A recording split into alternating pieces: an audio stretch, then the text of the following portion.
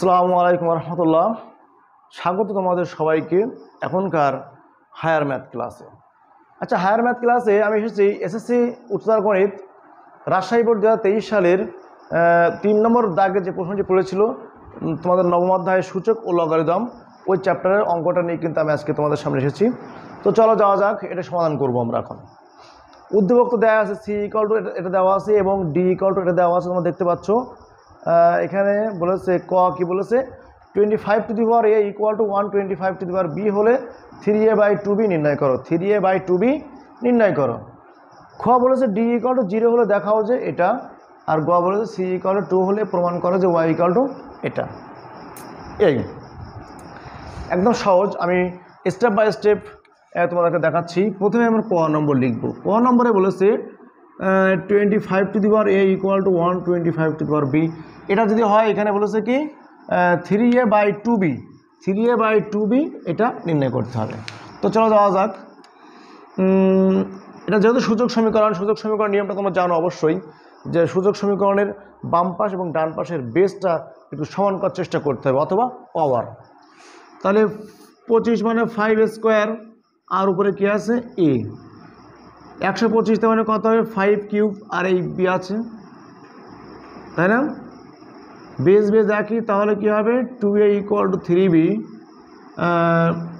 আর বলেছে A by B তাহলে এখানে কী হবে? আমি বিটা এর নিচে আনব, তাহলে থ্রি থাকছে টুটা এর নিচে যাবে। দেখো তো কী করেছি? ওই যে গুণ থাকলে ভাগ হয় আর কি ওই নিয়ম। যে এ রাখব বি রাখব যে এ বাই বি বলছে, তাহলে এর নিচে আনলাম বি আর এটা নিয়ে গেলাম ওপাশে এটাকে ফ্রি করলাম। কিন্তু যেটা মান বের করতে হবে, সেখানে এর সাথে থ্রি আর বির সাথে টু মানে এর সাথে থ্রি আর বির সাথে টু তার মানে উভয় পক্ষকে আমি থ্রি বাই টু দিয়ে গুণ করব।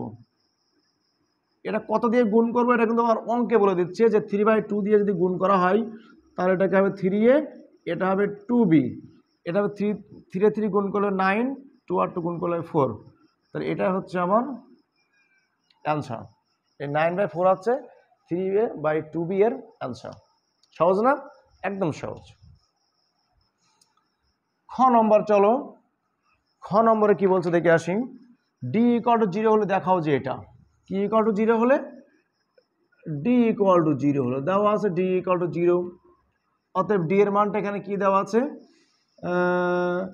P minus three minus five to the power two by three minus five to the power one by three equal to zero D equal to zero হলে এটা দেখাতে হবে। আর ডির মান কিন্তু দেওয়া আছে। দেখাতে হবে পি কিউব পি কিউব মানে এটা অবশ্যই আমার কিউব করতে হবে। তো এত বড় জিনিস কিউব করা তো সম্ভব নয়। এই জন্য আমরা এটাকে এটা ছোটো করে নিই। এ পর্যন্ত রাখলাম। এবার এটা পাশে গেলে হবে প্লাস এটাও হবে প্লাস এবার উভয় পক্ষকে আমরা ঘন করে দিতে পারি। কি করে দিতে পারি? ঘন করে দিতে পারি। কেন ঘন করলাম? আমি তো স্কোয়ার করতে পারতাম। কিন্তু ঘন করলাম কেন? এখানে জাস্ট অনলি পি আছে। প্রমাণে কিন্তু পি কিউব আছে। তো পি থেকে পি কিউব কখন হবে? অবশ্যই এটাকে ঘন করতে হবে। দেখো, এটা সূত্র এ ম্যানেজ ভোল কিউবের সূত্র। A cube minus three A square B plus three A B square minus B cube এটা একটু অন্যরকম করে করব পাওয়ারটা কাটার জন্য। এ প্লাস হোল কিউব কী হবে? A cube plus B cube plus three A B into A plus B তাহলে এখানে কি আসছে? পি কিউব মাইনাস তিন তিরিকে নয় nine P square plus three square নয়, তিন নাম সাতাশ সাতাশ পি থ্রি কিউব মানে সাতাশ ইকুয়াল টু দেখো পাওয়ার পাওয়ার কেটে যাবে, তাহলে থাকবে ফাইভ স্কোয়ার প্লাস এখানেও কেটে যাবে, থাকবে ফাইভের পাওয়ার ওয়ান দ্যাট মিনস শুধু ফাইভ প্লাস থ্রি ইন্টু এটা কিন্তু গুণ আছে? গুণ থাকলে পাওয়ার কি হয়? গুণ থাকলে পাওয়ার যোগ হয়। আর এটার মান কই জানো? এই লাইনে আছে, সেটা কি আছে?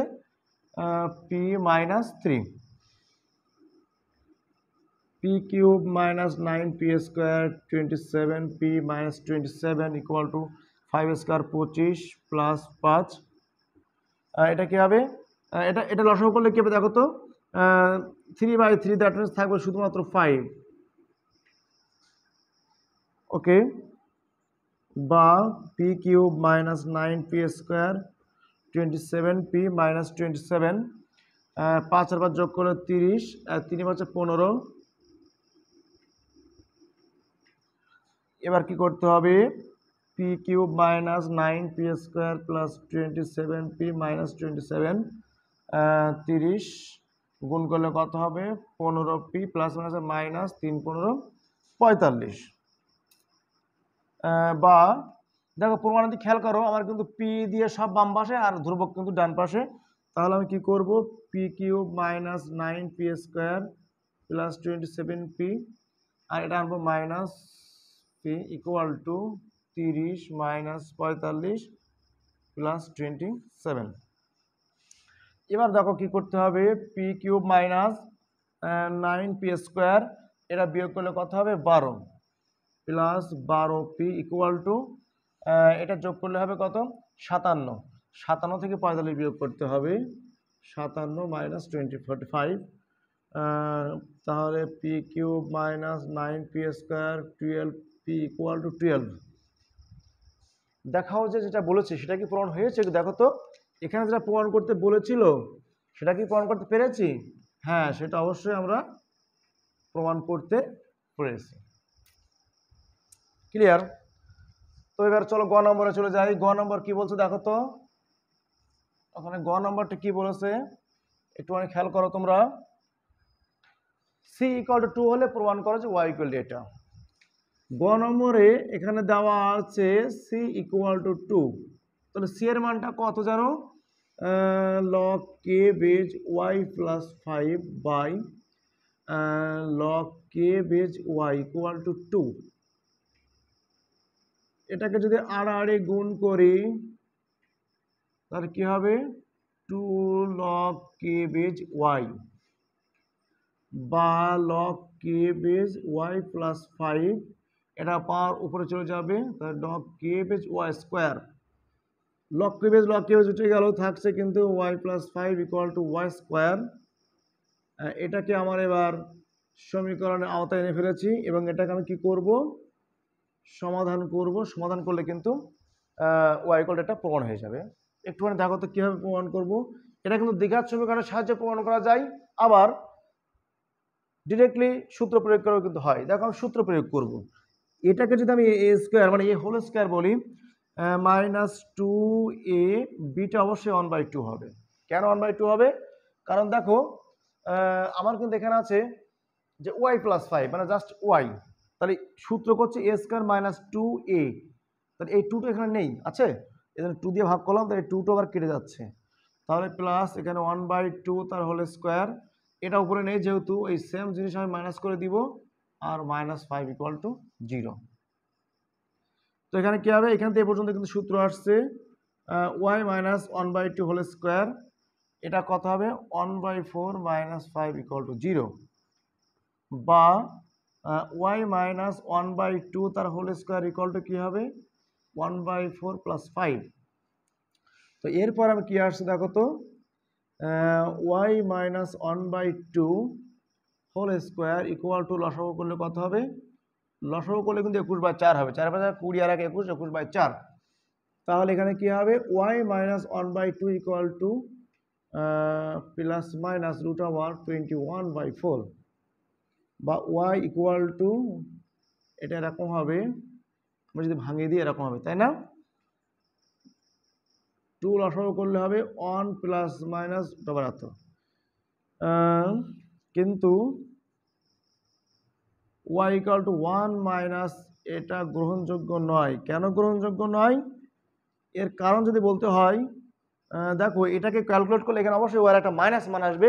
কিন্তু লগারিদমের ক্ষেত্রে মাইনাস মান গ্রহণযোগ্য নয়।